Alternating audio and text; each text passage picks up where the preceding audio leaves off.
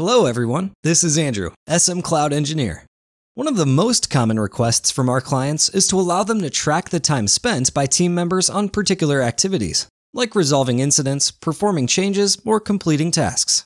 This helps a lot in planning for human resources that are always tight. Let me briefly demonstrate how our time management integration works. Let's open an existing incident that is already assigned to teams to take care of. Next to all the details, we have a tab called Time Management, where we can create a new incident time entry. Just drop a short note and click the Start button so our plugin starts calculating the time spent on this incident. It is possible to calculate the time spent not only for incidents, but also for tasks, problems, changes, service requests, and etc.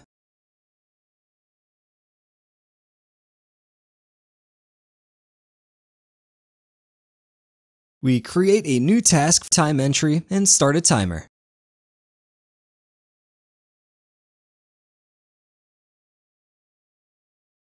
Once we get back to the parent incident, we can see and control both entries.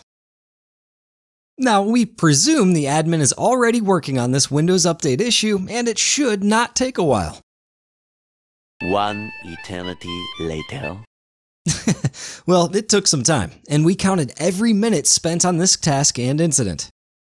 Another thing we can do is to open a time entry tab where we can see and monitor all of the time entries. If you manage your dashboard properly, it will give you lots of useful information and insights on how your team is managing the time spent on daily works. Hope it was helpful. Follow us and subscribe.